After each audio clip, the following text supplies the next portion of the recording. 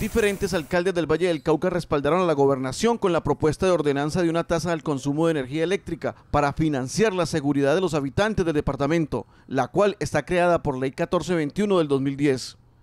Los vallecaucanos debemos de recibir con buen agrado la, la, propuesta que tiene la gobernadora referente de unos recursos nuevos y frescos para mejorar la seguridad del Valle del Cauca.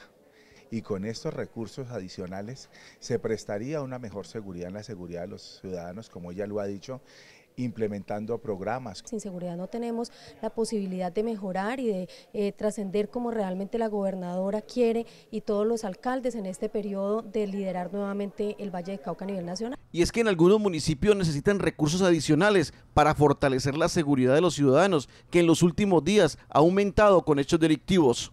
Para nosotros es vital.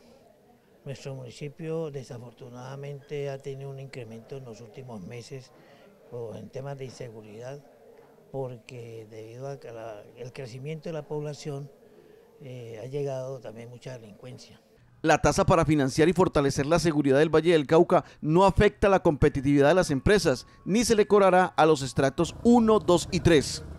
Entonces Caicedonia es uno de los municipios que necesita del aumento de esos recursos, sobre todo del aumento del pie de fuerza, tanto de policía como de ejército, de manera permanente, para lograr contrarrestar estas situaciones de delincuencia.